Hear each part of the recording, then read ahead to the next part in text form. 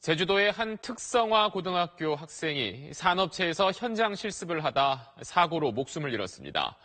조사 결과 사고 현장에 안전 설비조차 없던 걸로 드러나면서 제도 개선을 요구하는 목소리가 커지고 있습니다. JIBS 하창훈 기자입니다.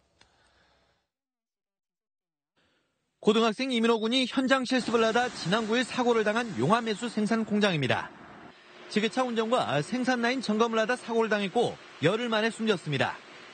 사고 현장엔 안전 설비조차 없었던 것으로 드러났습니다.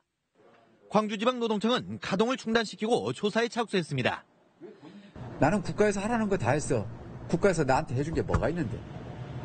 왜 아들까지 잡아가? 특성화고 현장 실습의 문제도 속속 드러나고 있습니다. 숨진 이군은 전공과 전혀 관련 없는 일에 배치됐습니다. 더욱이 그만둔 직원 업무였습니다. 연장 근무까지 했습니다. 실제로 이제 조기 취업의 형태를 띠면서 어, 실제 뭐 사용주의 강압이나 이런 거에 대해서 취약할 수밖에 없는 제주자치도 교육청은 이군이 현장 실습을 나간 업체 상황을 전화로만 확인했습니다. 또 이군이 두 차례 일하다 다쳤지만 파악하지 못했습니다.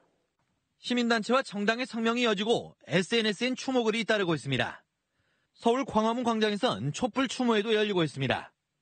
특성화고 취업률 대책으로 밀어붙이던 현장 실습의 문제가 드러나면서 개선을 요구하는 목소리가 더 높아지고 있습니다.